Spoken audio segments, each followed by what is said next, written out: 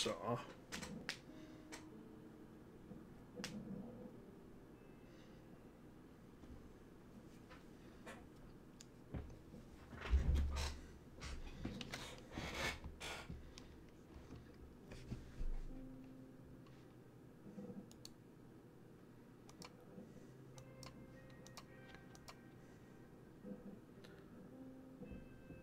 Så i dag tænkte jeg egentlig, at jeg ville kigge lidt nærmere på øh, Stillstand, som er et øh, prisvindende spil øh, fra Danmark af, af Ida Hartmann. Øh, dengang var det lavet hos øh, Nila Games, øh, men Ida arbejder i dag hos Triple Topping. Øh, og har også, så vidt jeg kunne se, øh, deltaget i noget øh, øh, narrative writing workshop-agtig stats hos øh, De Gute Fabrik, der jo også udgav Mutatione, der var sådan et meget narrativt spil. Det her er også et, så vidt jeg kan forstå, semi-autobiografisk spil, øh, lidt ala øh, Cosmic Top Secret, øh, som udkom fra øh, klassefilm og øh, Those Eyes for et par år siden øh, af Trine, Trine Lejer. Øh, hvor øh, Trines spil var meget baseret på at udforske, hvad hendes forældres baggrund ligesom havde været, og hvad de havde lavet under øh, den kolde krig, og sådan noget som, øh, som danske spioner og efterretningsfolk, så er det her mere et øh, skal sige, emotionelt øh, ud, udforskende spil, der, der kigger på, øh, på livet med, hvad jeg formoder må være en eller anden form for depression og angstlidelse. Øh, så selvfølgelig, øh, hvis det er noget, der er problematisk øh, for dig, så vil jeg anbefale, at det her måske ikke lige var, var spillet, men øh, det kan også være, at det er god terapi. Øh. Ellers ved jeg som end ikke så forfærdeligt meget spillet. Jeg har set en lille bit smule af det blive fremvist til en spilbar på et tidspunkt. Øh, tror jeg, det må have været. Øh, hvor at jeg tror, mit, mit største takeaway på det tidspunkt var, at jeg var irriteret over, øh, at øh, det ikke fulgte tegneserieregler, som i er paneler dukket op så de skulle læses fra bunden af, og så gik opad. Øh, hvilket øh, noget no, no, et eller andet ind i mig ikke kunne lide. Øh, formentlig fordi jeg brugte brugt for, for, meget, for meget tid på at studere øh, mekanikken i, i øh, tegneserier, og øh, hvordan at sådan noget fungerer øh, øh i forhold til at øh, øh, tid, øh, tiden ligesom forskydes alt efter, hvor langt ned siden du kommer, øh, øh, og taleboblerne, der ligesom sker i en vis rækkefølge, som indikerer et, øh, øh en passage af tid. Øh.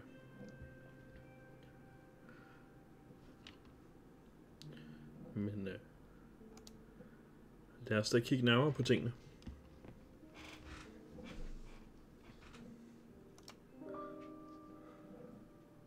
Jeg håber, at lyden er i orden.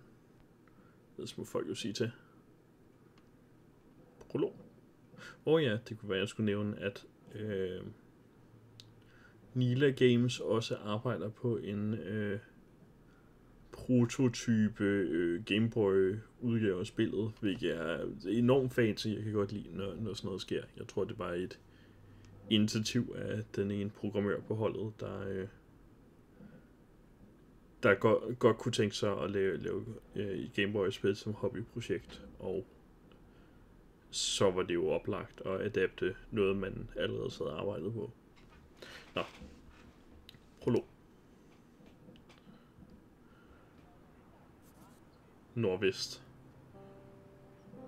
Fyr dig selv. Din bitch. Jeg kan se dig. Friki. Ikke så klør i mig bagfra. Jeg fik et helt chok. Øh, jeg kan se dig. Alt i dit liv og ikke liv.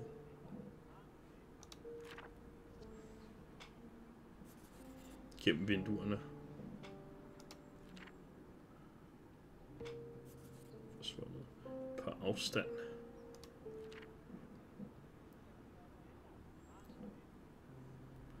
Så vi så med vores første farvetoner, som er blå. Tryk på det blå, okay.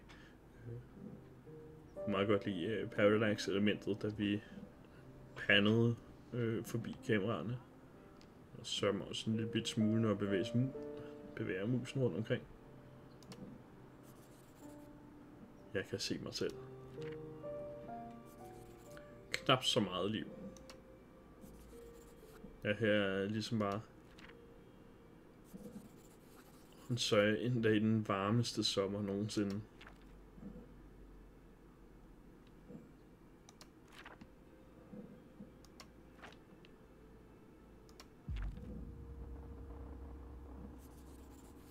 Skal jorden gå under nu?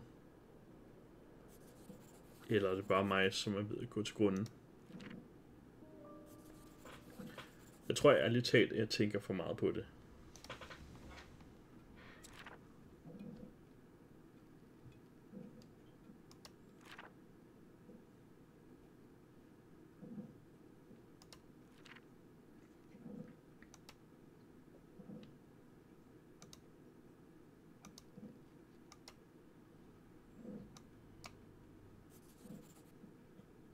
Ah, okay, på den måde.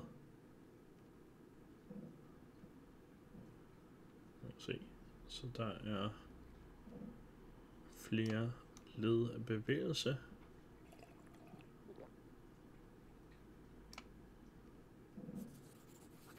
Jeg forsøger at glemme det.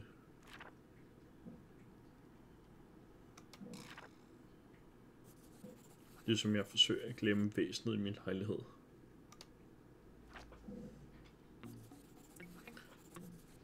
Det kom sammen med varmen for et par uger siden. Kan jeg ikke spille fisk? Stop nu med de dumme kortspil. Det er alt for varmt. Nå okay. Tænkte jo øh, bare, at det kunne være rigtig sjovt. Forsvind, okay.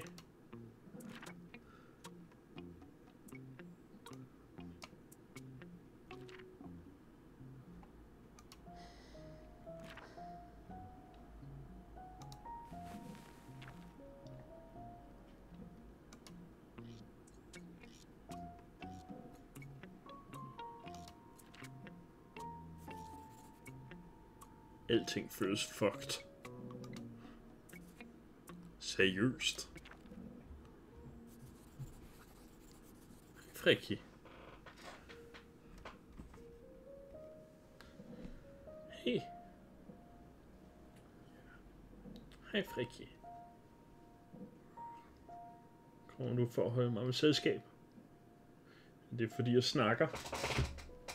Oh, så der siger hej.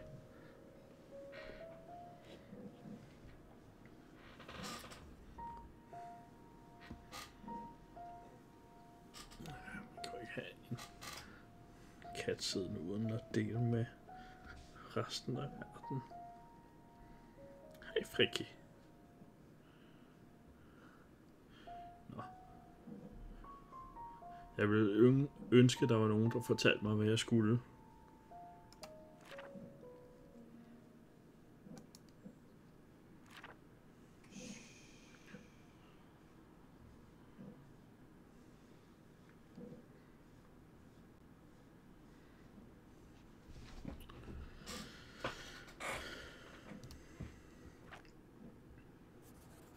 Nå, hvor kom jeg fra? Nordvest. Din bitch. Hvad nu?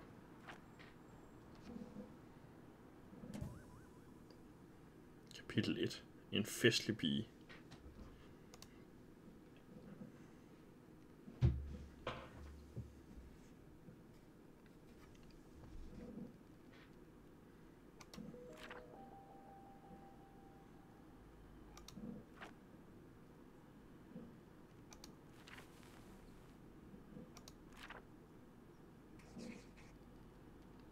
Kunne tage med ud? Altså, hvor vi går sammen ud udenfor.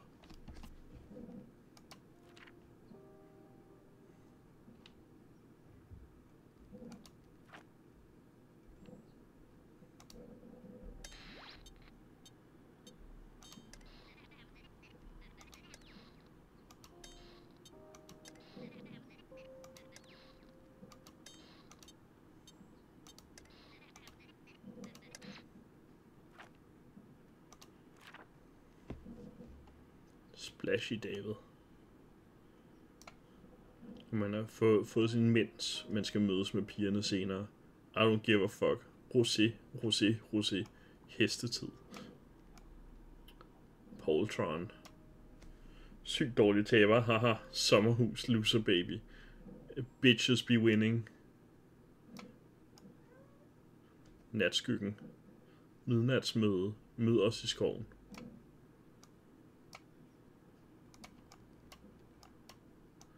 Citronsorbet. Slowly healing. New hand who this. Hook me up. Hooked on a feeling. Ditte øh, dadel. Vi fandt ham på gaden. Vi kaldte ham Ip. Vi elsker ham. Hunde el elsker DK. FCK-fans til fredagsrykket Tivoli med kæresten, sommer, Tivoli, øl. Pia Hotkiss. Presser den til 35 grader i dag. Word, faktor 1000, sommer i Tirol. Ligesom Melissa. Man kan, kan altså godt være både klog og smuk, litterær, dansk litteratur. Klunser Kasper. Drengene, lol, boys, fadøl, lo, lo, lo, lo, lo herre fru Clausen. Tænk sig at kunne opleve sådan en lykke og kærlighed. Hashtag min lille familie. Hashtag os. Hashtag 3. Den unge kvinde af havet. Pas på dig selv. Og det var alt. Ny besked fra Iben. Tag den fra toppen af. Ringede bare lige for at høre, hvordan det gik. Jeg kan ikke overskue at snakke med nogen lige nu. Har du egentlig overvejet at tage overlov? Tingene er ikke sådan super stabile for tiden, men jeg tror måske, at det er meget godt at have et fast holdpunkt med studiet.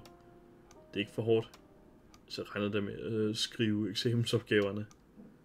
Fuck skolen, jeg mener det bare, at det er dig, der jeg er bekymret for. Det er lidt svært at vide, hvad man skal gøre, hvad man skal gøre, og hvad du har brug for. Det går op og ned. Jeg ved ikke, øh, hvad der er galt. Jeg er så træt af mig selv. Maria fra min højskole gik hos psykolog sidste sommer, det hjalp hende meget. Jeg tror altså ikke, jeg har råd til det. Skaff et nummer, så kan du tænke over det. Okay, tak. Skal man ikke have en henvisning af alt muligt? Jeg tror ikke, det er så bøvlet. Tænk nu bare, øh, bare over det. Fire måneder siden.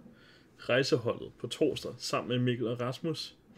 Yes, jeg er klar, men kunne vi starte vin? Selvfølgelig er der vin. Hvad regner du mig for? Og der er lidt hjemmelavet Ingrid Dahl. Fedt glæder mig til, til at se jer. Jamen, jeg blev nødt til at aflyse rejsehold aften. Jeg har haft en rædselsfuld dag og har brug for at være alene. Alt er okay, jeg ved ikke lige, hvad der sker. Okay, mega ærgerligt. Sig til, hvis du har brug for noget. Vi drikker vin for dig. Hyg jer. To måneder siden. Hey, huede du op med ham Lasse fra barn? Nej, jeg blev for fuld. Han var ellers ret klar og pæn. Og meget sød. Følg ham lige på Instagram. Det er sådan, man gør nu til dags. Okay, okay.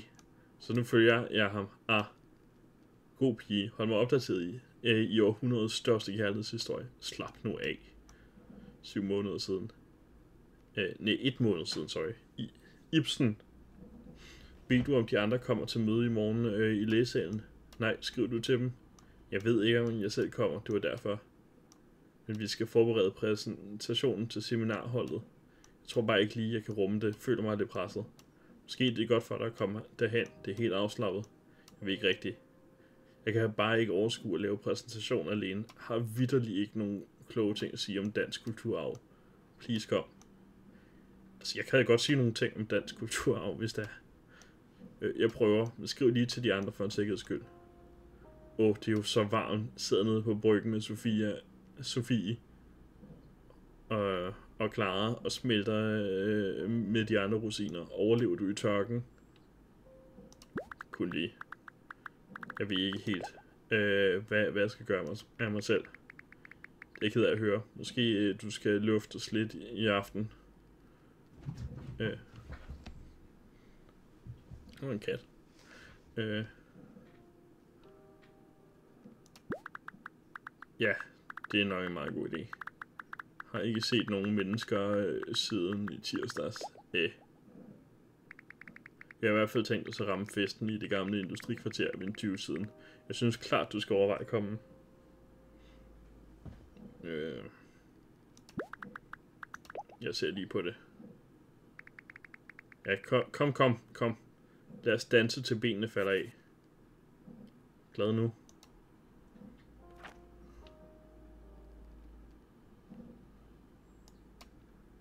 Ikke så forfærdelig stor fan af... af... Nå, men det er jo ikke mit valg. Det kommer ikke videre uden.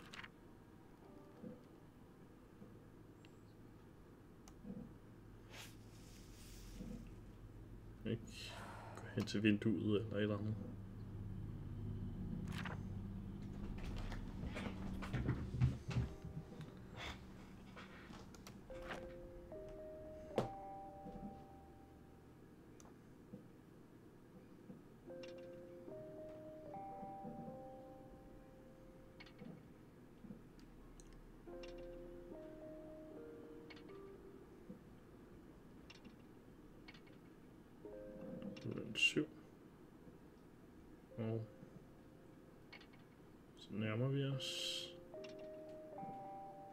8.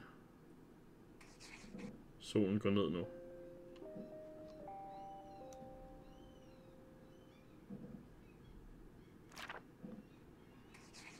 Kan jeg så tage til den der fest?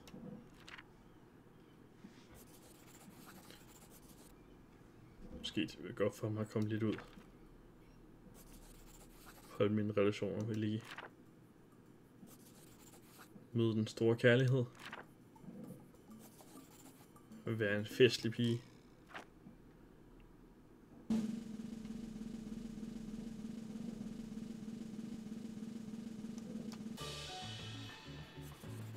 En festlig pige. Det er det, folk vil have. Magnificat. Magnifikt. uforudsigelig, erotisk og mystisk. Du stråler. Jeg vil så gerne alt det liv. Verden er din ø. Se, this is what I mean. Den burde have været delt op øh, øh, vertikalt i stedet for. Så kunne øh, så kunne taleboblerne ligesom komme under hinanden på i rigtig rigtige rækkefølge. Det er mig en ære at præsentere en længe ventet festlig pige.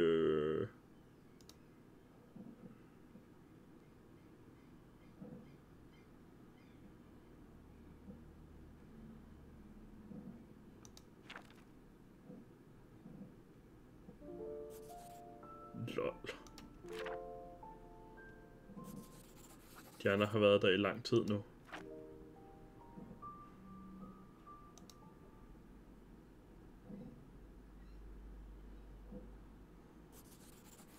Okay, jeg tror, jeg er klar.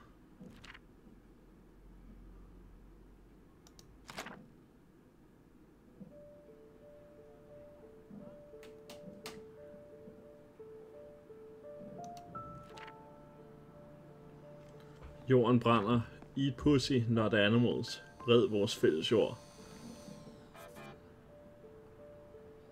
No world equals no beer. Vi skal alle dø. Dyt, dyt. Undskyld, men jeg... Unge mennesker tror altid, de ejer hele verden. Hvad står der dernede? Don't be... Mean, be green. Okay. We got der. Den her by godt nok ikke, hvad den har været.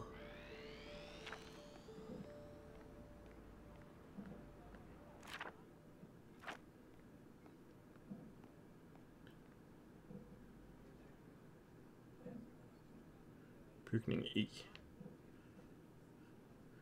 Altså, jeg, jeg vil så sige, at fester har sgu aldrig rigtig været min størrelse. Øh, jeg forestiller mig, der er... Jeg er godt klar over, at det ikke bare sådan lige kommer ud, når man har en depression, og alting bare har en konstant drænet. Øh,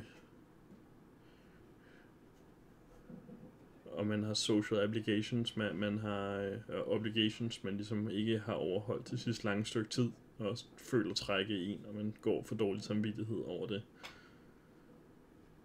Øh. Jeg ved sgu ikke lige, fester var måden, jeg ville gøre det på. Det, det lyder... I hvert fald som noget, jeg vil blive ekstremt udbrændt af bagefter. Ikke mor mig voldsomt meget til. Øh, men på den anden side, jeg drikker heller ikke. Øh, det er ikke nogen sådan moralsk årsag eller noget. Jeg øh, var en familie med, med tendenser til afhængighed, og alkohol har altid virket som noget, det måske var, var, var nemmere og bedre at undgå. Øh, så jeg ikke risikerede at blive hugt på et eller andet, der, der ødelagde mit liv.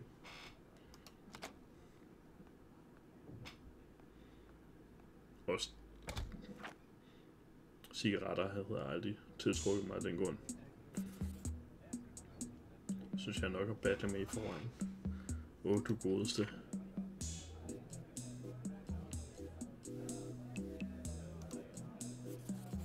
Jeg skulle være blevet hjemme.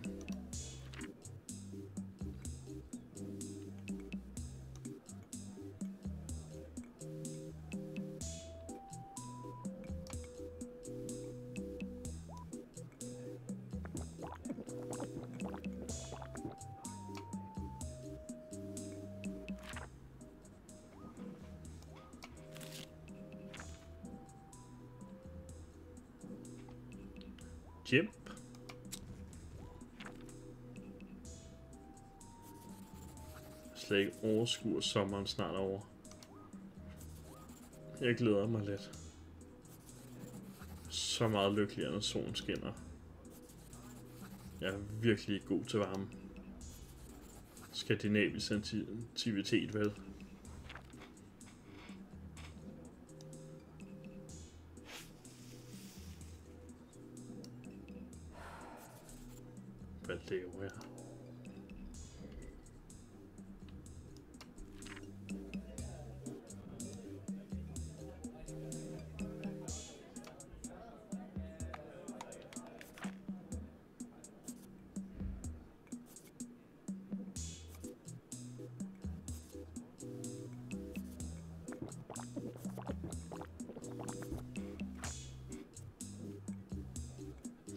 Godt lide effekten på, på musikken.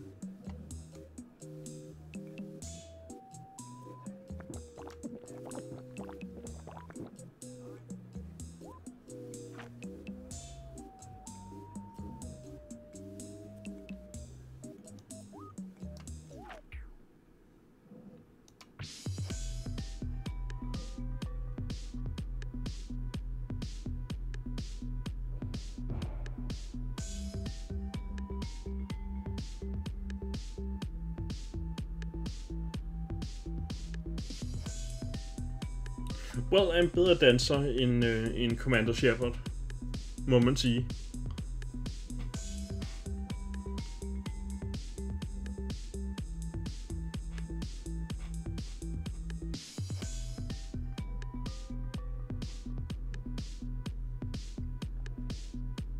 Obviously til gengæld nogle, øh, nogle lidt dystre toner. Hvor har du været henne? har ikke haft det så godt. Det er et fucked, men det skal nok gå, tror jeg. Shit for stenet. Men nu er du her. Jeg forstår aldrig, hvad folk bruger så lang tid på derude. Kid man bare var en fyr, ikke?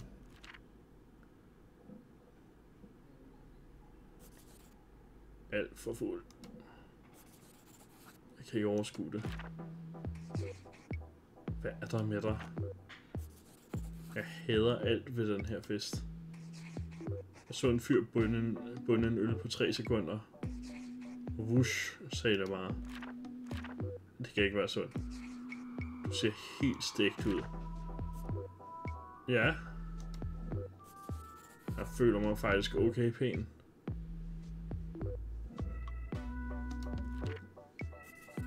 Jeg har brug for at blive rørt ved, tror jeg. Lidt kærlighed. Du gør det helt meget værre. Jeg har styr på det. Det er vildt selvdestruktivt. Lad os se. Anders her. Anders, tak, tak for i går. Det var virkelig, det var en virkelig hyggelig date. Øh, fik du noget af alt det, du skulle? Selv tak. Ja, det gik lige lidt træt. Øh, winky smiley. Min veninde skulle åbenbart mødes med sin kæreste, så jeg endte med at være ret tidligt hjemme. Lidt irriterende. Lad os lige ses igen snart. Ja, måske næste uge er booket hen over weekenden. Vin hos mig i morgen? Det lyder sgu godt. Jeg køber vin og snacks. Yeah! Klokken 20 måske. Jeps, det passer godt. Vi ses senere. Hej Anders. Tak for en dejlig date. Og nat, du glemte din solbrænde eller i farten. Jeg har forresten set, du har slettet mig på Splinter. Hvad sker der? Øh, jeg har tænkt over det, og jeg er nok bare ikke lige rigtig på. Jeg godt mærke det i går, at der var noget galt. Jeg er bare en ung idiot. Jeg skal ikke have nogen kæreste lige nu. Rigtig? Jeg har aldrig sagt, at jeg vil være kæreste. Jeg kender dig knap nok, men fair nok. Anders, vil du have din tobrede igen? Har du dem stadigvæk? Yes, de ligger på min spisebord. Vil du have dem nu? I Jylland til en hippiefestival, har drukket kombucha-drinks og siddet i gruppe med meditation hele dagen. Ah, okay. Jylland lyder magisk. Sig til, dem, øh, hvis, sig til, hvis du vil have dem igen på et tidspunkt. Nu siden. Hvad laver du i aften? Tre uger siden. Han er obviously ikke interesseret. Jeg har først set din besked nu. Hvad så? Hvor fuld ah, kom øh, bare til at tænke på dig. Har du det godt? Fik I funding til jeres forestilling?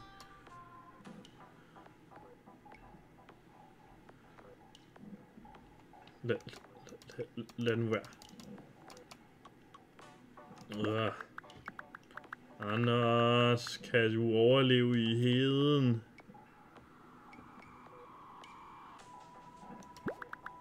Altså den mest stenede fest med ulidelig dårlig musik og alt for dyre øl. Uff, uff. Jeg har sådan lyst til at se dig.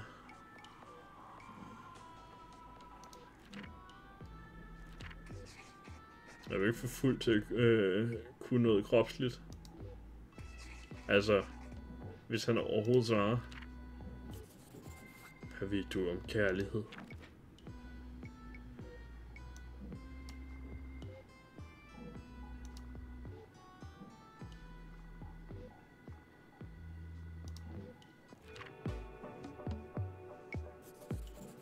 Jeg ved ikke om det her fjæs står til at redde.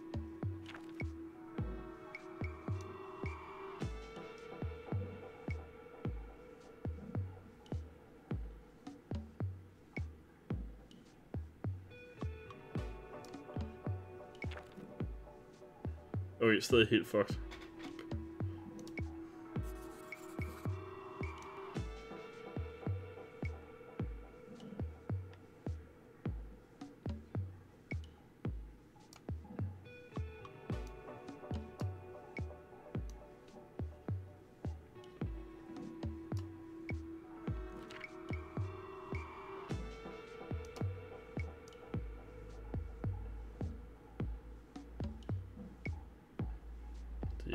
Svært med en mus, det her.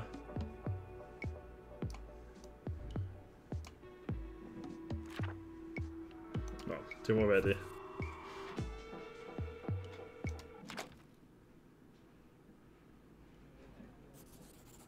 Det er især øh, politikerleden, der forhindrer en egentlig revolution. Altså, hvad fanden skal vi gøre? Vi kan ikke gøre en skid.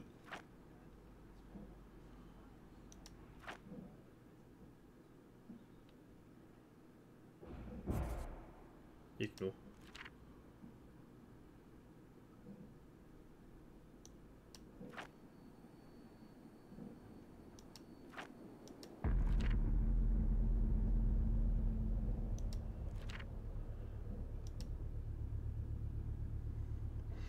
Fed effekt med at skifte baggrunden til sort, vil jeg sige.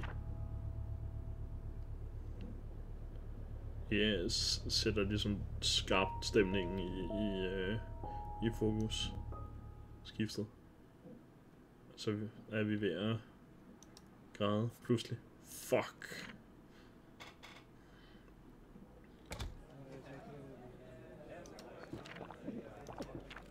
Stop nu.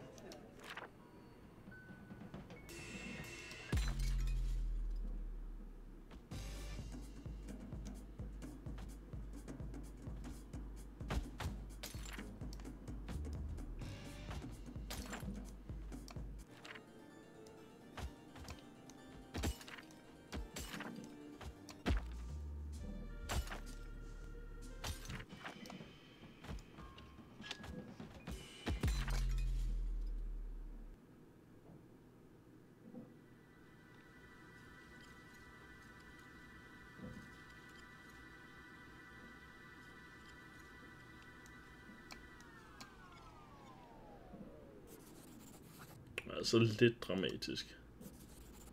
Planter udenom. Åh oh, gud, vi kaster op på gulvet.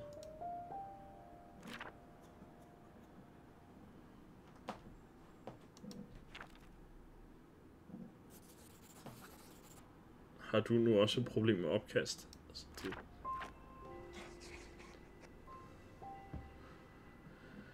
Ikke noget problem. Du forventer hele tiden, jeg er noget andet end det, jeg er.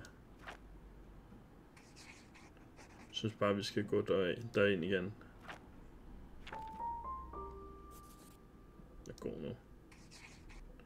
Vi ses derhjemme. Whatever.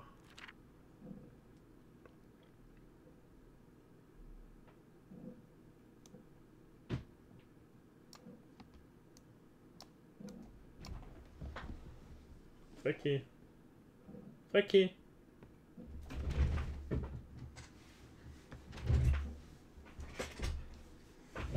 Lad os se på det. Mellemspil. Blandt de ligger under.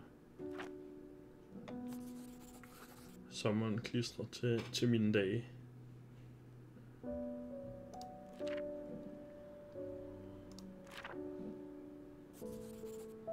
En fed sovs og sov.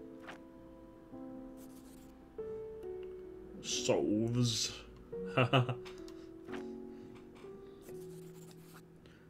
Der sidder sig på maven.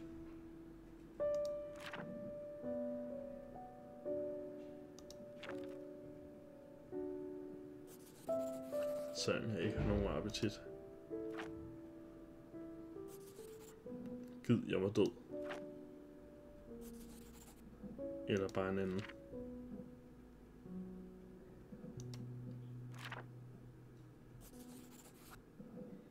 Farer vildt konstant.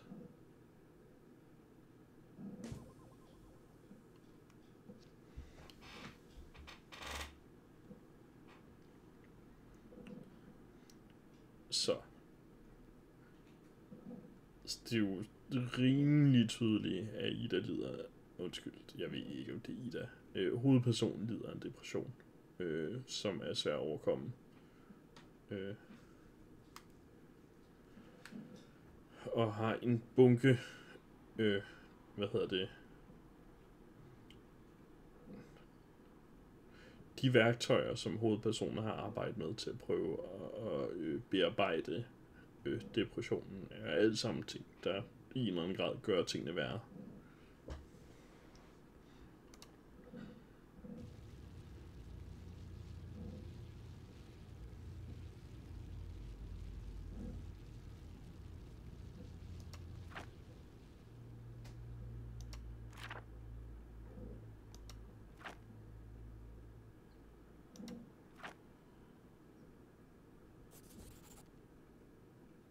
Stadig. Jeg er lige her. Okay. Jeg går ingen vejen. Hmm. Alt gør mig bange for tiden. Der er ikke nogen grund til at være bange. Vel ikke så meget, der er nogen grund til at være bange. Der er masser af grunde til at være bange. Spørgsmålet er, om det er muligt at abstrahere fra det, sådan så man kan få en funktionel sådan, mental situation øh, hver dag. Øh, det, det er jo der forskellen ligger. Vi, øh, vi er jo alle sammen bange. Der er krig i Europa, der er øh, global opvarmning, øh, øh, kapitalismen har i den grad taget overhånd, og ja, plus at der er alle øh, hovedpersonens daglige problemer her. Og ikke nok energi til at deal med dem. Så der er masser af grund til at være bange. Forskellen på, på øh, en neurotypisk og neurodivergent person her er jo så bare om, om det er muligt at abstrahere, ignorere tingene og øh, dele ting op i ting, man kan gøre noget ved, og ting, man ikke kan, og, og så dedikere tid og energi til det, man kan.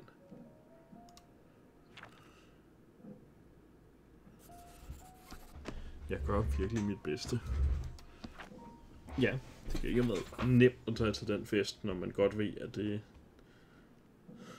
det kun vil være en negativ oplevelse. Du skulle begynde til noget øh, en brætspilsklub i stedet for. Jeg burde være derude. Jeg vil godt spise en stor is.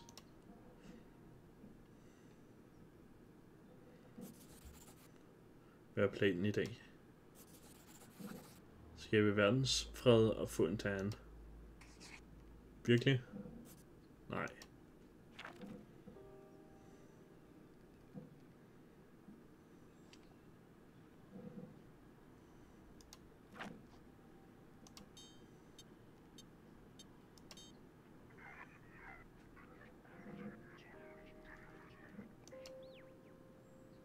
Gad vide, om det er meningen, der skal være noget på skærmen her, og det bare fejler på øh, min Linux, eller om det er meningen, det skal se sådan her ud. Øh.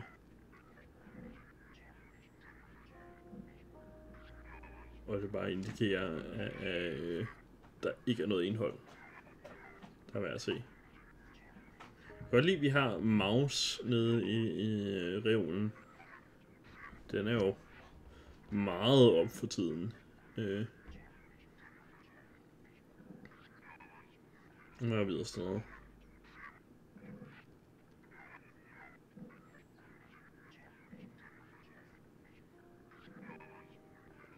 Hobbiten.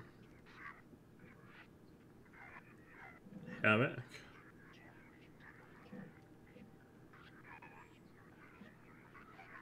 Freud psykoanalyse hvad er det, den hedder? Love and Other Drugs? Er det, den hedder?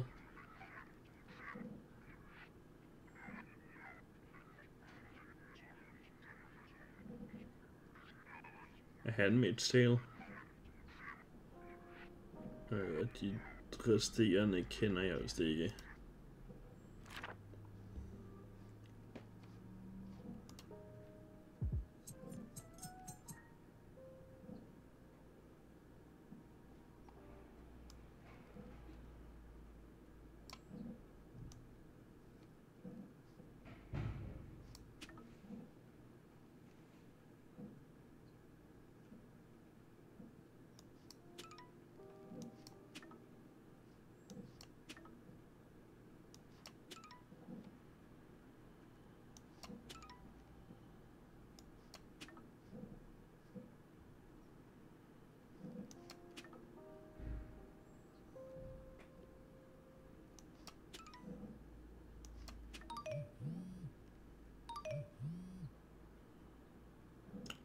Aldrig været super stor fan af den måde Tinder foregår på.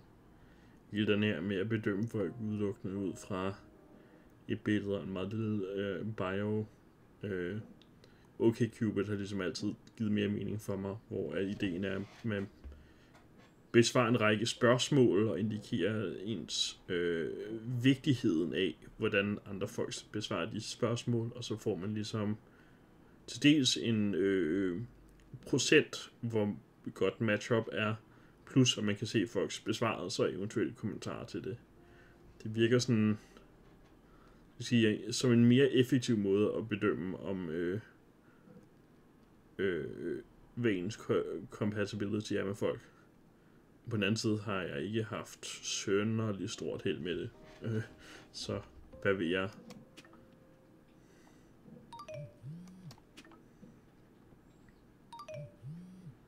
Ja, ja, Simon. Hey, du ser sgu sød ud. Nyder du varmen? Tak, Simon. I lige måde. Det er lige hisse nok for mig. Så jeg holder mig indendør. Haha. Kan du få tiden til at gå?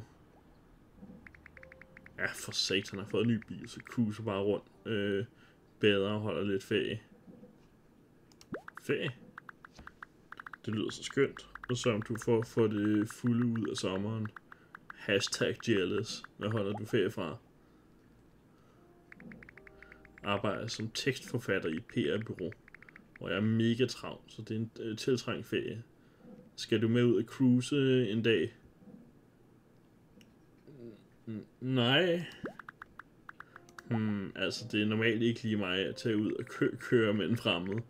Ja, du virker på, øh, på en måde ikke så fremmed. Ro på, haha. jeg får en impulsiv idé.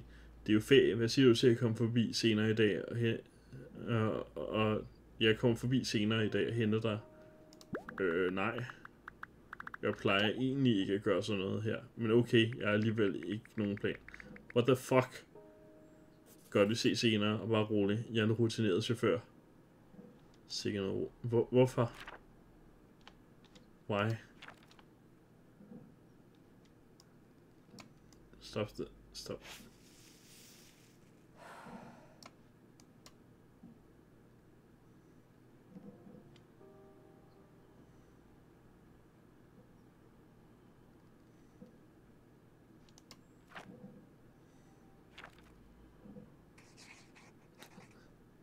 Summer loving happened so fast. Tænk, du skal på date om lidt. Jeg håber, han kan lide mig.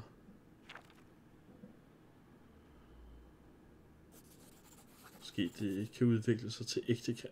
Det er lige tidligt nok, måske. Du kender ham jo ikke. Så bliver kysset øh, mellem skulderbladene. Tænk, hvis han ser mig for alt, hvad jeg er. En for vildt. Date. Shit. Hvad skal du have på?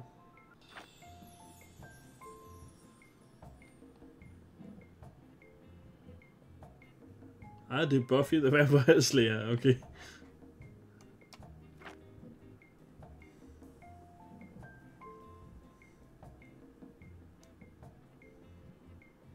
Så vi har sådan et lidt øh, forsigtigt prøve at skjule os. Øh, jeg har kropsdysfori-agtige outfit.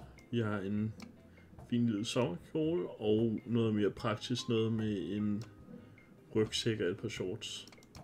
Og et eller andet, der er mest nede i bunden.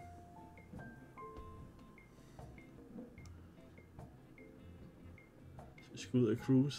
Den der. Du er så mega sej.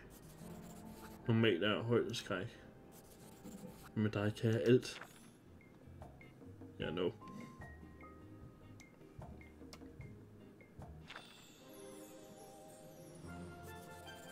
Ligegyldigt hvad du, du siger, eller hvad fuck du er, så elsker jeg dig som den du er. Uh, virkelig? Yes, jeg har dig.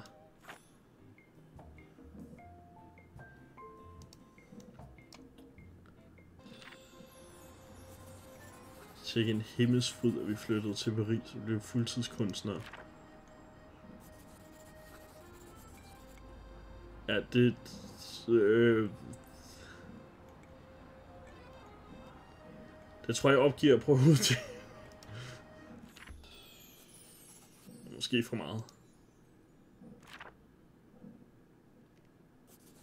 Jeg tror bare, jeg holder det simpelt, egentlig. Myrdede 48 kvinder med gift i muffins. Lars var en enspænder. Syg din egen bikini. Rejseholdet. Beny- genudsendelse. Redde Karen fra døden. Det er ude og ude. Tab 20 kilo på øh, 20 dage. Pænt. Fuck, fuck, fuck, fuck. Bzz, bzz. Uh, hallo? Han herop?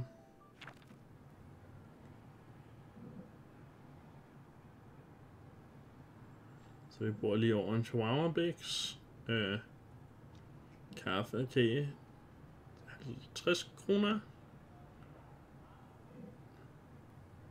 Baklavasi. Sandwich og børik. Favoritbageren.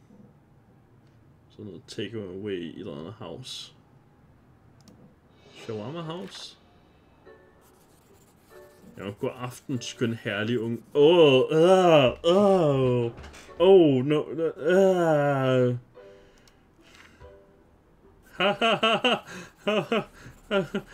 oh, det vil være mig en udsøgt fornøjelse, min gode herre. Så kom ind, kom ind. Virker de her? Jeg er redselslagen for at ryge igennem forhuden. Vi får se. Ej, de virker fint, don't worry.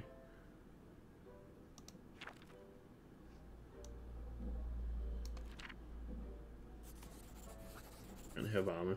Fuck, kan man tænde for aircon? Den er tændt. I wush. Hvor kører du os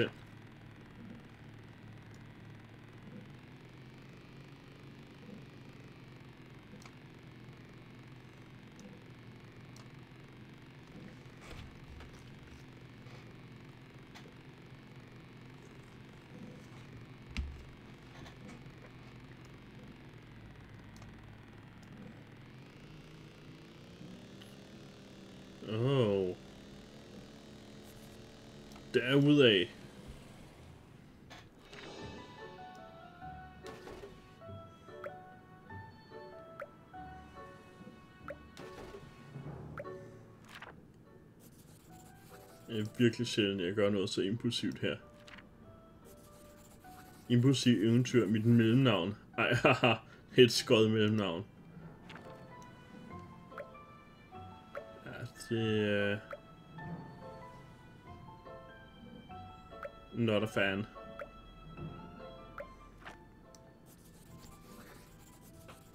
Der er et... Øh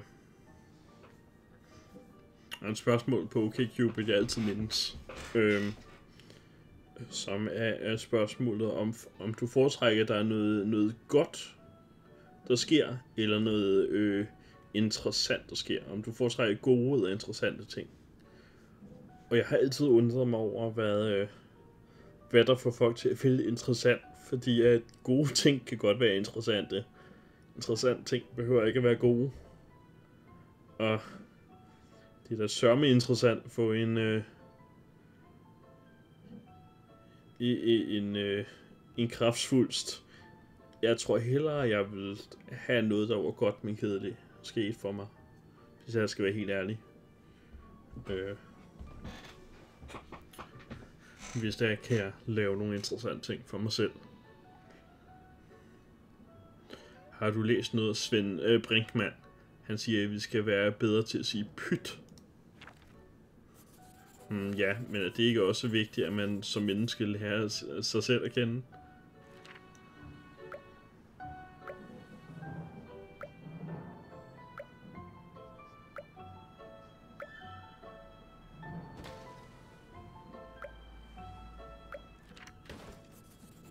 Tror du, at alle sommer kommer til at være så varme her? Jeg har altid set mig selv som en menneske, der burde bo et varmt sted, så det passer mig egentlig perfekt her. Ja, men det har jo nogle mere widespread problemer. Øh. Du, du...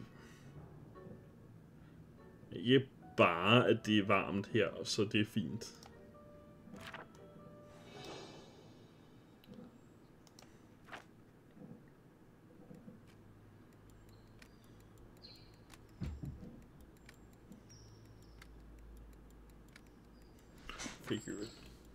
Lige selskaber.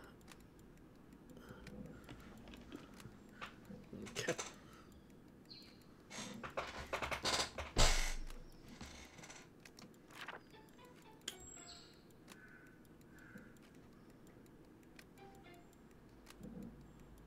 Så det er et tårn af pizza.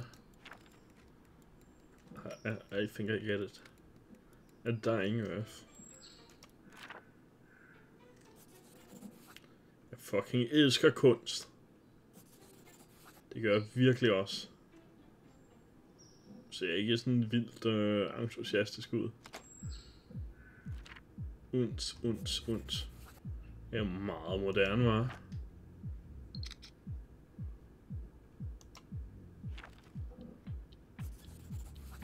Så jeg en udstilling i Dubai på toppen af en skyskraber, der var endnu vildere end den her.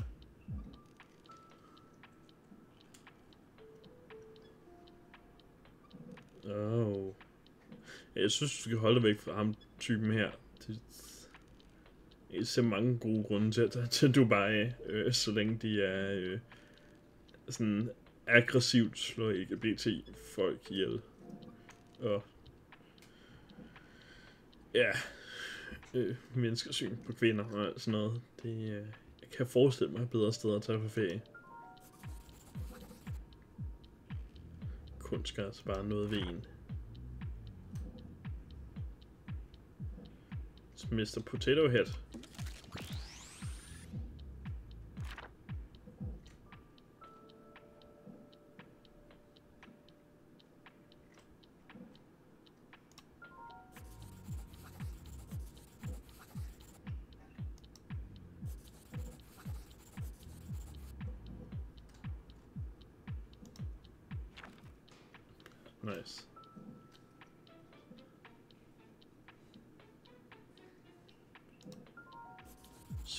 Så man egentlig føler, at det hele sejler lidt for mig. Du må være lidt tålmodig med dig selv. Hvornår har du sidst puttet et ønske i, i ønskebånden? Hmm. Alle drømmer der om noget.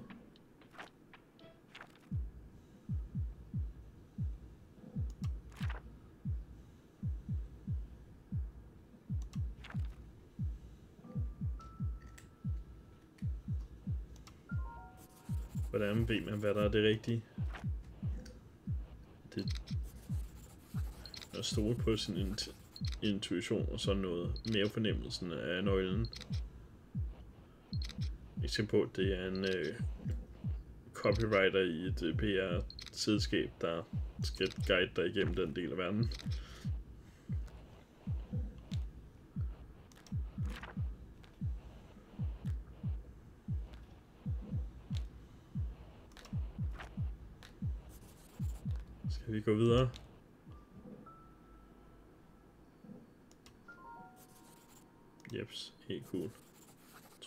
De lukker.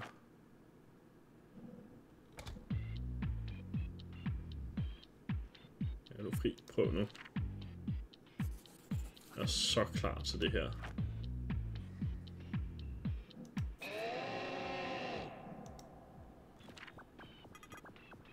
Du er et frit menneske.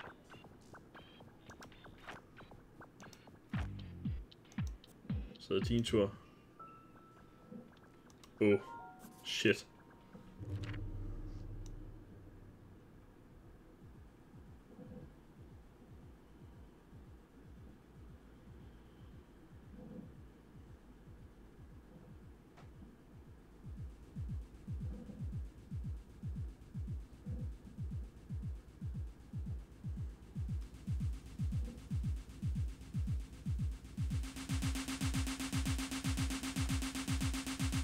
Jeg sidder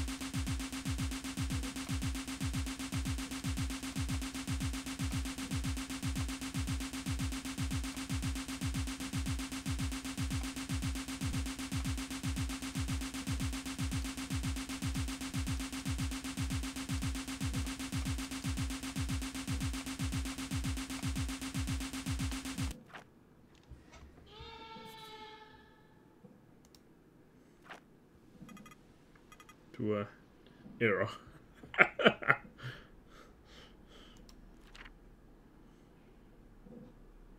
well.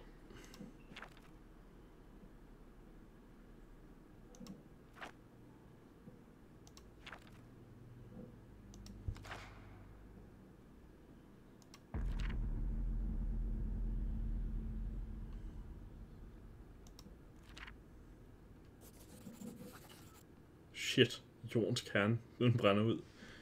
Det er jo øh, ligesom plottet i øh, The Core.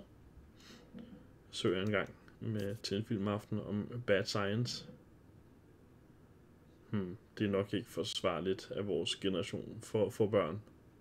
Helt enig.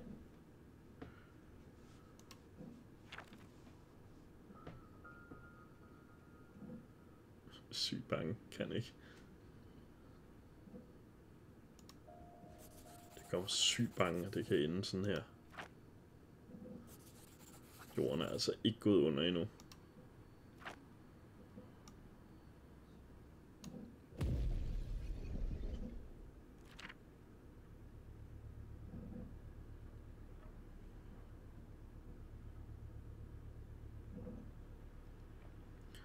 sætter bare nogle folk ind med en boremaskine og en optanium og øh, eksplodere nogle atombomber inde i jordens kerne. That'll fix things.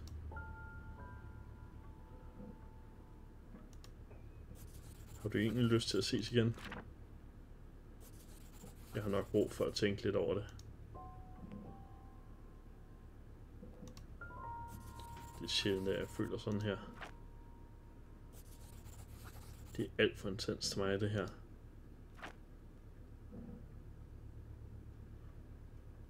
Det er ikke så meget at sige til. Bare tag det stille og roligt. Intet pres. Jeg vil bare gerne lære dig at kende. Hallo? Simon?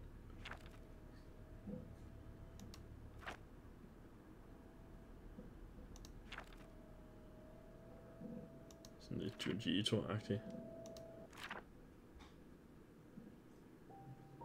Løber ud.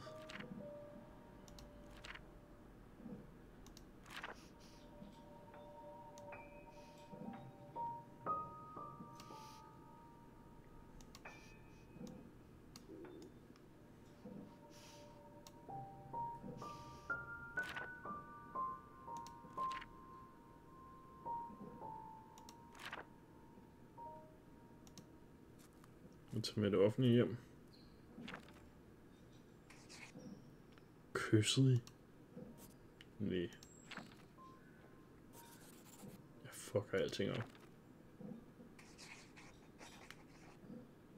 Der kommer altid en sporvogn, sporvogn og en fyr til. Så skal passe på med at lægge alskens øh, pres øh, på, på, ja, sæt, sæt folk på en pedestal på den måde. Det, øh, det er ikke fordi, du skal forvente, at øh, kommer en person og fikser dig.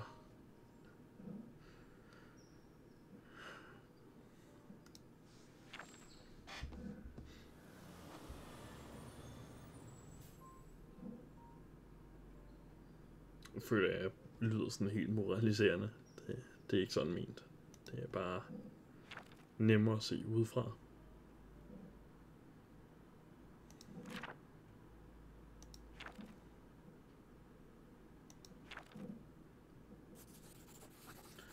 Troede virkelig, at det skulle være øh, alt muligt.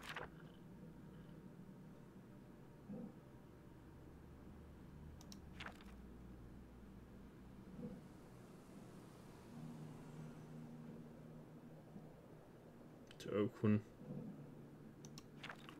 første date med en du, du stødte på på Tinder ved at swipe hans billede.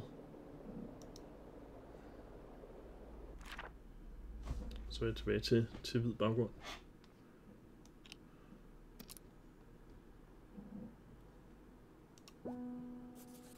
Mellemspil. Biller højbrænder.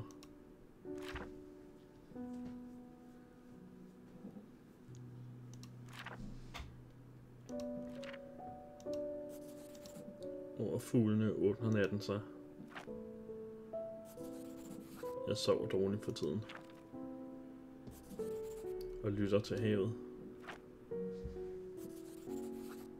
Selvom jeg er langt herfra.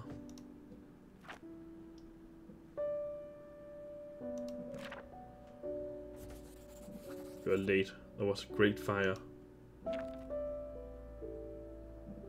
Billig forsikring. Billig billån. Tag mig hjem. Til et hjem. Der ikke er mit.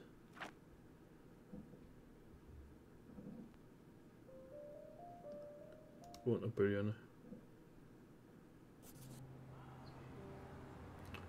Nordvest.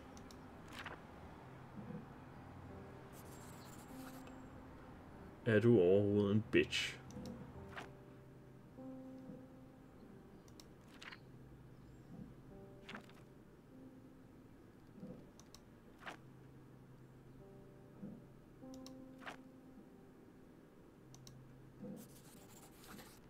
Faktisk bare mig.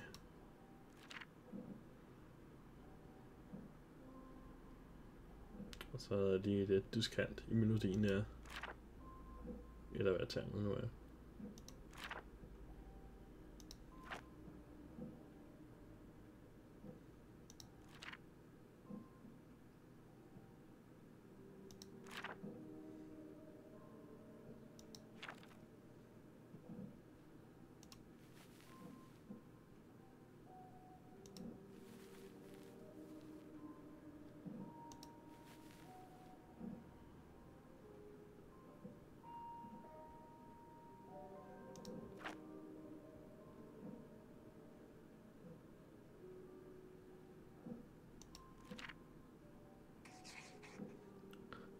Går op nu.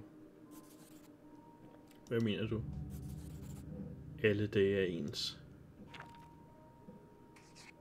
Kabalen. Nå. Det er ikke til at holde ud. Jeg troede lige, du havde fundet ud af noget stort. Livets mening og sådan noget. Nå, nej, det er bare en fed syvkabale. Hmm.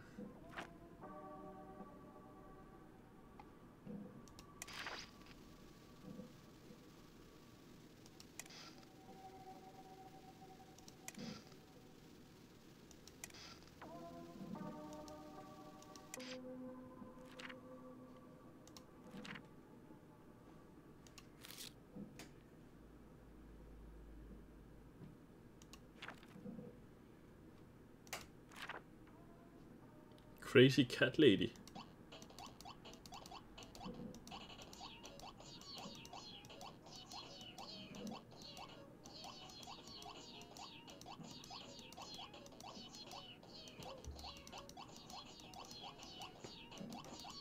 Ja, Frikki, hvad er der? Ja.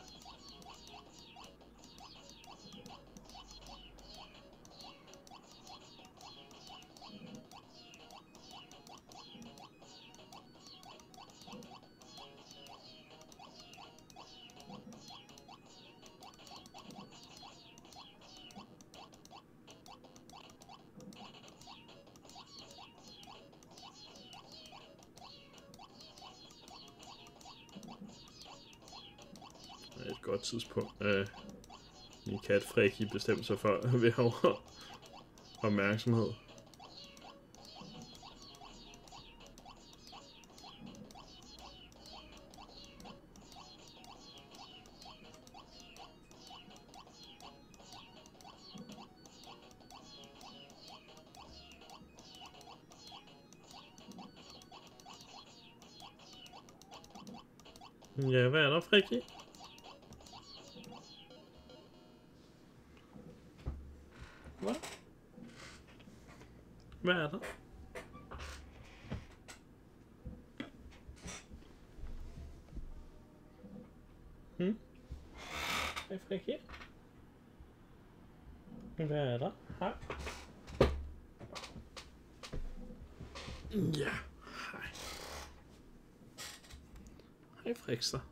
Hej til internettet.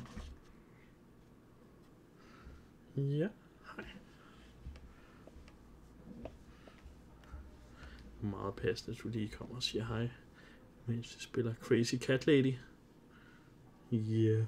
ja, yeah, du er sådan en fin.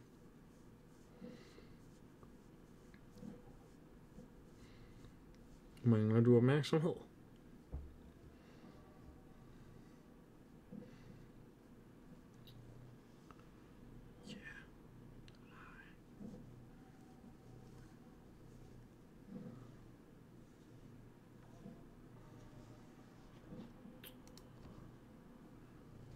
Ja, hej Friki.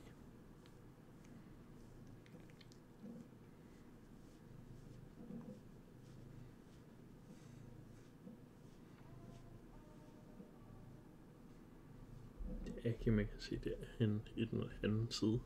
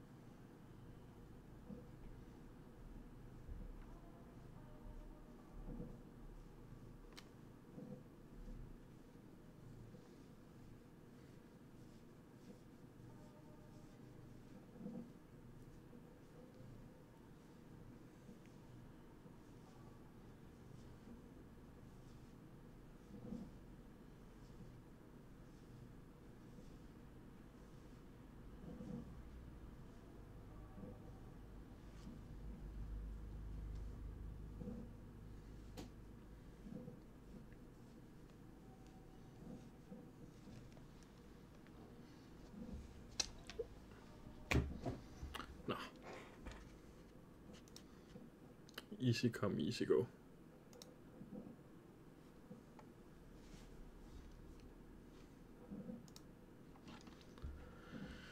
Så.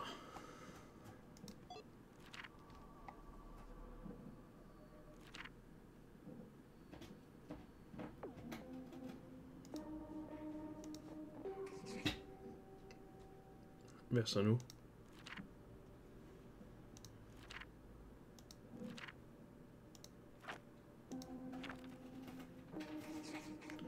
Forsvinde forsvinder totalt, hvis du bare bliver her for evigt.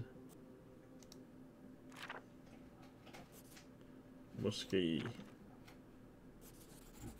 Du kan skrive til en af de der fyre, eller tage til en fest.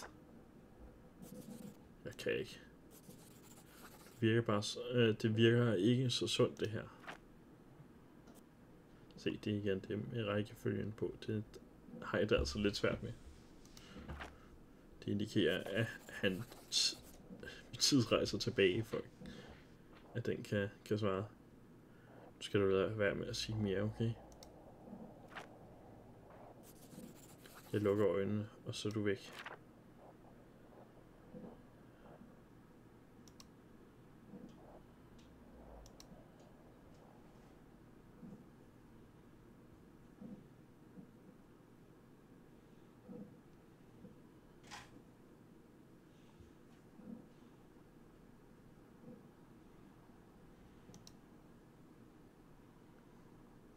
Nå, skal vi dis dissociere?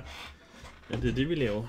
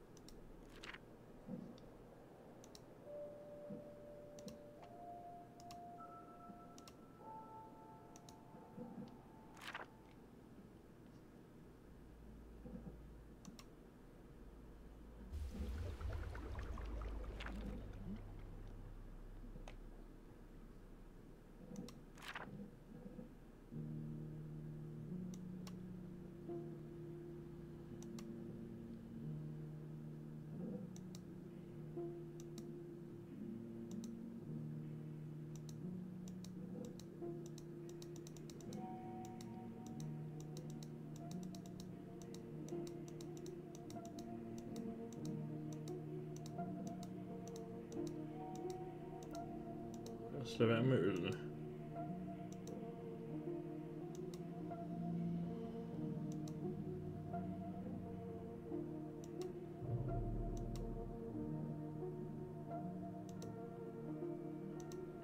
Ah, det er ikke dit ansvar, mester.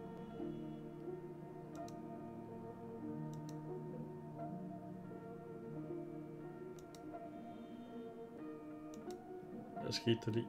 Well, vi har en bunke ting, vi skal have fundet ud af sådan med jer selv. Og vi har alvorligt brug for at tage til en terapeut. Måske øh, få nogle antidepressiver af en eller anden art. Øh, for det her er ikke sundt, men et forhold kommer ikke til at redde det. Så det selvfølgelig kunne være noget rart. Øh, se- serotonin.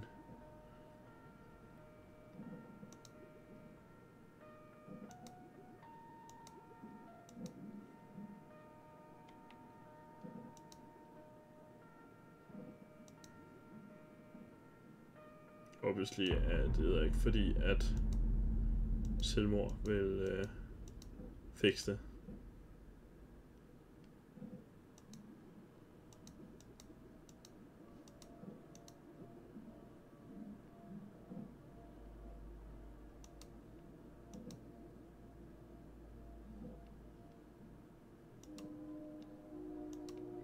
Noget galt i at have en depression. Udover det ikke er rart at have, obviously. For ikke til en mindre person.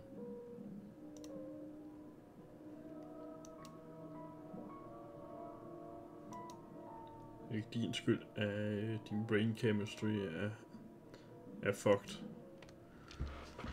Og hjernen ikke forstår, hvordan den skal fikse det.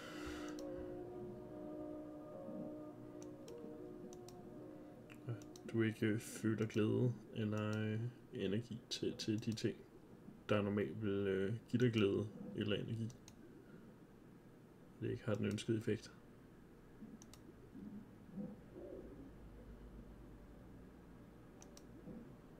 Det er også korrekt.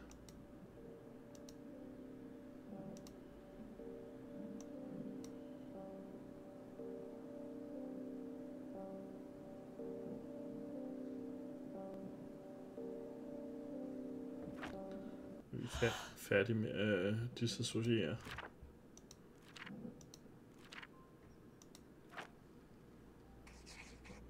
Du er stadig sur på mig. En smule.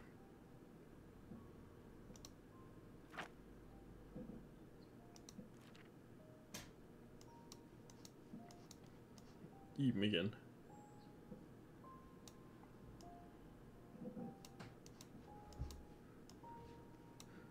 Kom, kom. Lad os øh, danse til benene falder i, i dem i går. Åh, fest. Party girl. Hvor blev du af? Jeg så dig kun kort øh, på floor, og så var du væk. Jeg drak for meget. Jeg troede, mit lever øh, var, var mere hærdet. Kæmpe skuffelse. Åh oh, nej. Puky times. Big puky times. Jeg var først hjemme i syv i morges. Hvad? Mikkel og de andre insisterede på at tage i kødbyen, da festen lukkede. Det lyder da helt eventyrligt. Det var så fedt, øh, mand. Pe- øh, Petra og Nico joinede os. Alle var helt oppe og stod. Ej, gid jeg havde været med. Jeg endte bare med at gå alene hjem med en krænket ære og lever.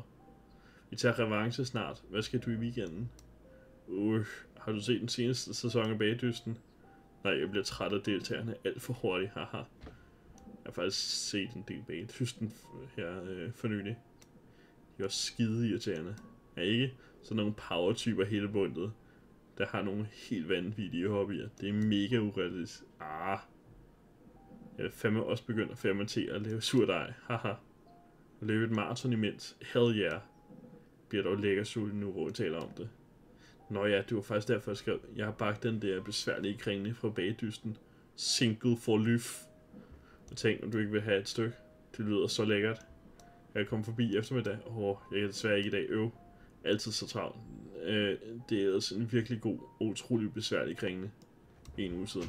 Hey girl, what you doing? Studiegruppen er ved at falde fra hinanden uden dig.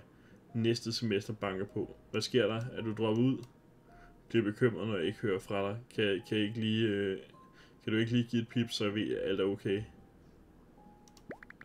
Hej. Undskyld, der gik så lang tid, før jeg svarede.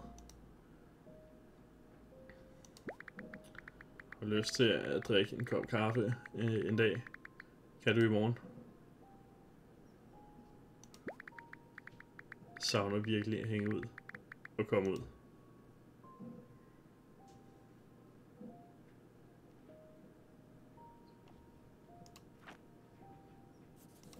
Om det glemmer jeg ved sommeren.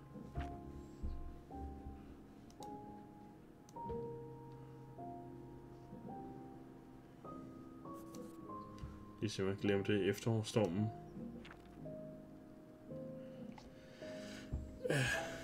Du er vel klar over, at, at, at hukommelsesvægt er en af de mere almindelige sideeffekter af en depression. Frankenstein und die Monster aus dem... Au? Endnu mere Godzilla mod... Øh, hvad fanden er det, den flere hoved hedder? Ghidorah? King Ghidorah, tror jeg.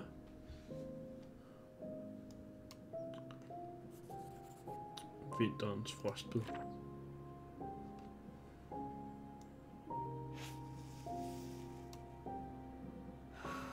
Nu er rødt ud af vinduet nu. Forårets pollenhelvede.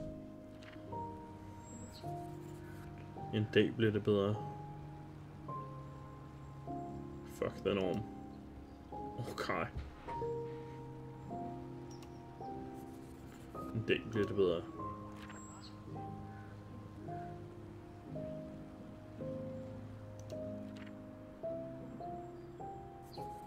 En dag bliver det bedre.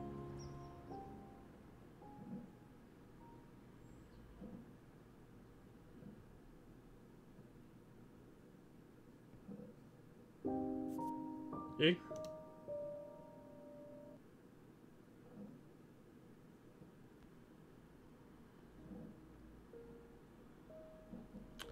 Og en meget optimistisk afslutning.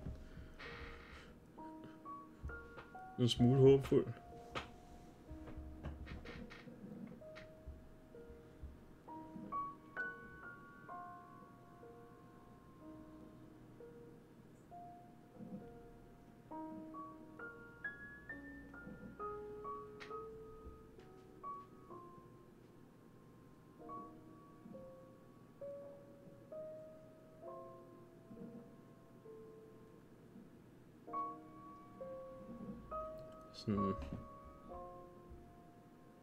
Ikke helt blackpilled, men øh,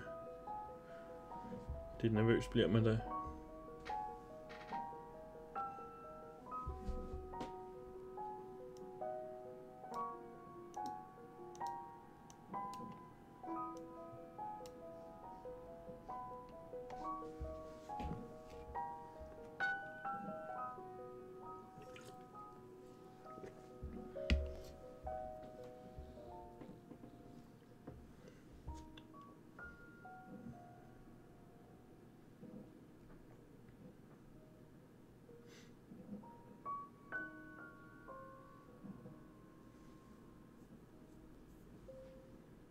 Når den er original på dansk. Jeg var faktisk usikker.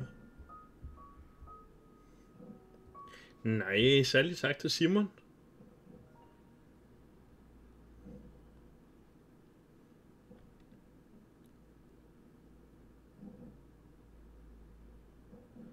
Det er jeg sikkert glad for. Nu hvad jeg i virkeligheden burde øh, nedskrive af det her. Men det er vel fordelen ved, at jeg streamer det. Jeg så selv kan finde det frem senere.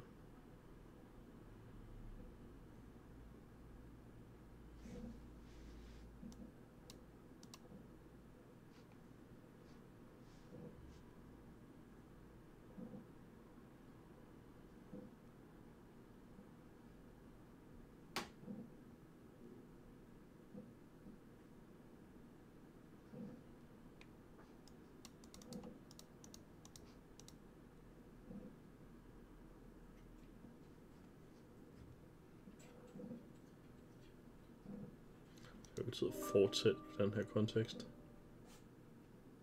Det er bare tilbage til credits. Okay.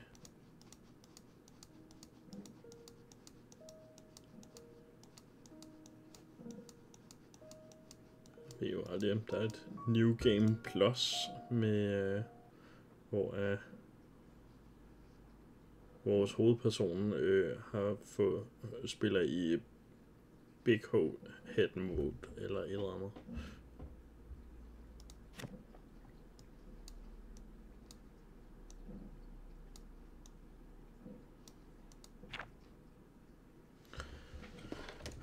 Så jeg kan godt se, hvorfor det her har vist sig at være meget populær hund hos øh, særlige japanske needs øh, øh, hikikomori-typer.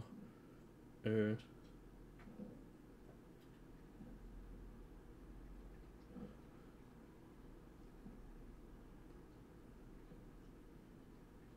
Obviously har hun brug for... Øh.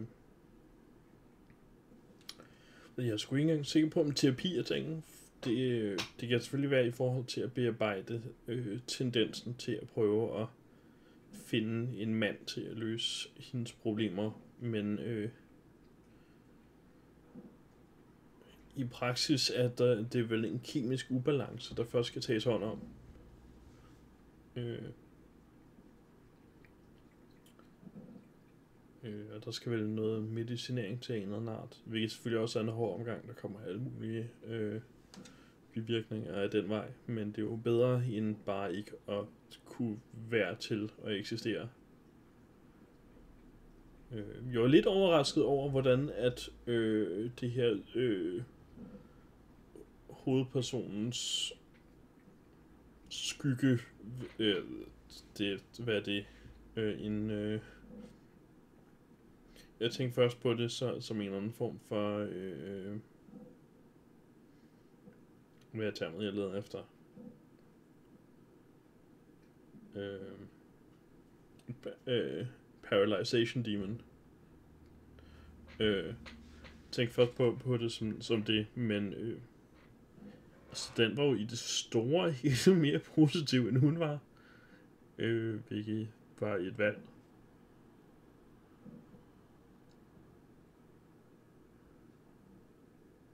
Jeg er glad for, at vi ikke så noget af det med, øh, øh, som jeg så i, i øh, det, der blev fremvist i sin tid, med ligesom, hvor vi havde et billede her, og så hver gang jeg klikkede, så dukkede der noget op til venstre for, sådan først i bunden, og så opad, og så opad.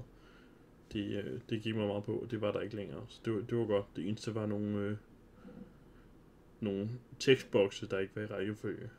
Øh.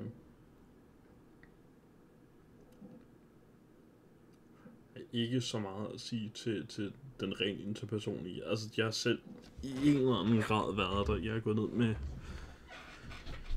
med stress af to forskellige omgange.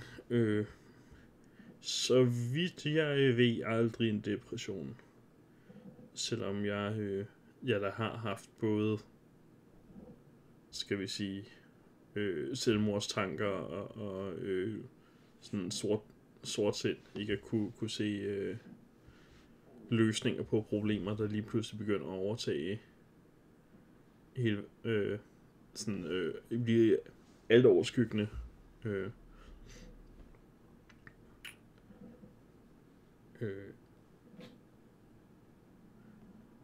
men, men øh, formentlig ikke i den her grad, som der selvfølgelig er en vis grad af overdrivelse, kunne man forestille sig, øh, for ligesom at visualisere tingene den var meget god til, til at illustrere nogle af de her ting. Men hold kæft, der var mange, øh, hvad hedder det, selvdestruktive tendenser på spil. Øh, min egen er mere i retning af at øh, nedprioritere søvn. Eller, det, det passer ikke. Eller, det gør det også, men, men vel i større grad handler det om, at jeg har tendenser til at... Øh, Øh,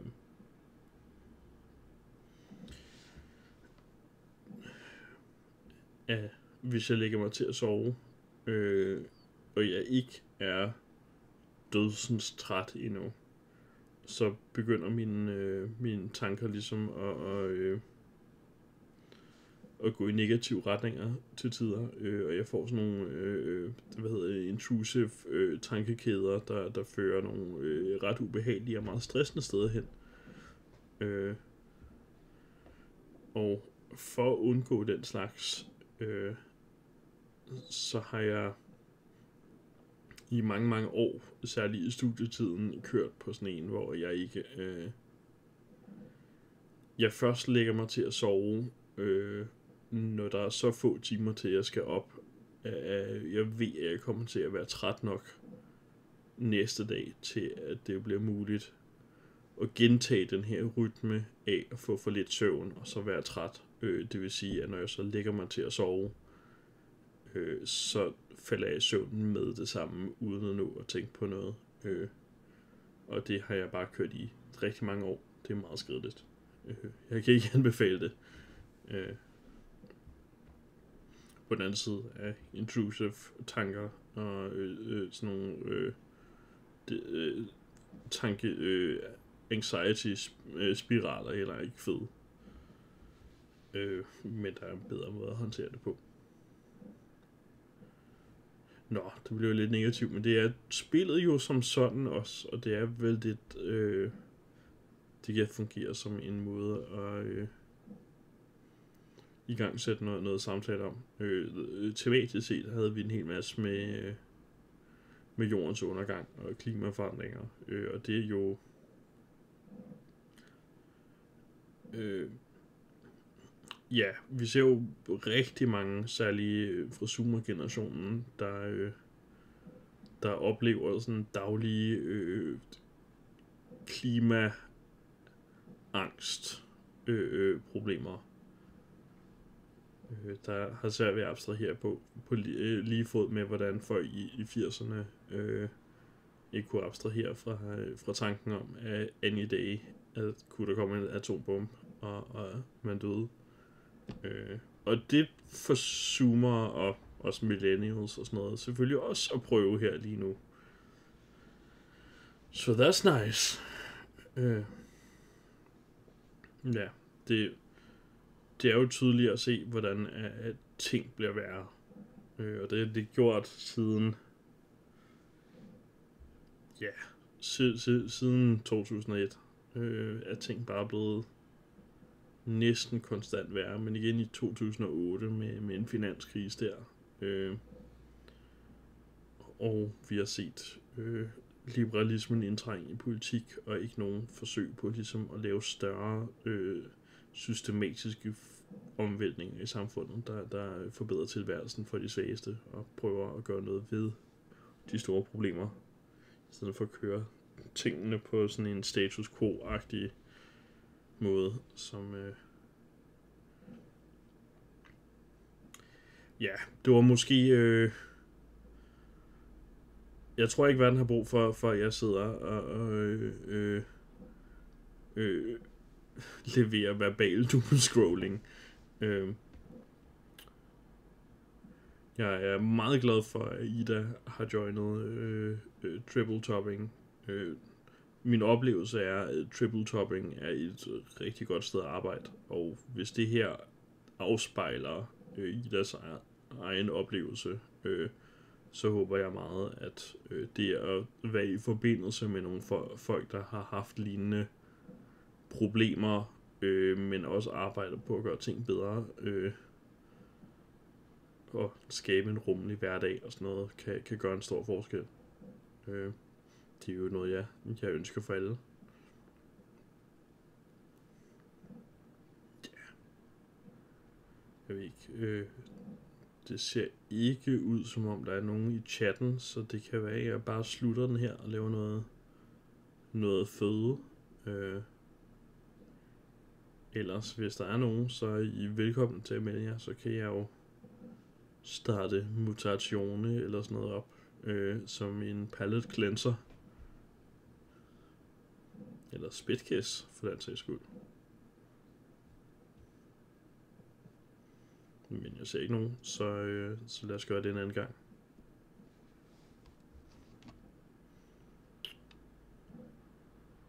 håber, at folk får en, øh, en fortsat god uge.